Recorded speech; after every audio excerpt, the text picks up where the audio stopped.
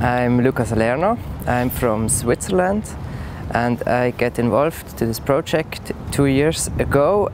I um, knew Johannes, the manager of the project, and then I sometimes went sailing with him with the Green Dragon boat and now he asked me if I can come and do with him the whole Caribbean season and so I also taking part of this project.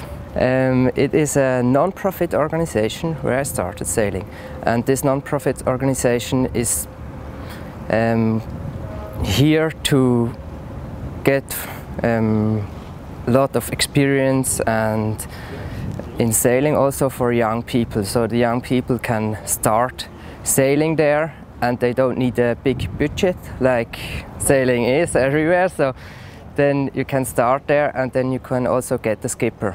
And they we manage that everyone can if they want can take part of this project and we do everything. We do the refit we do um, the whole management of the season everything.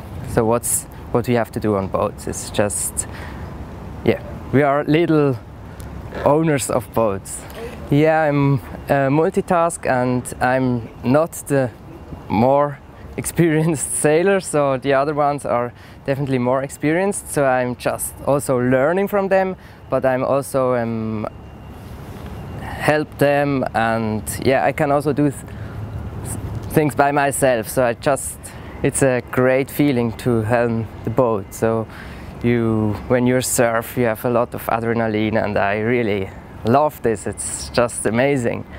And you also feel the pressure of the boat. You on the on the wheel, you really can feel the boat much more better than I feel the catamarans that I was sailing. Yeah.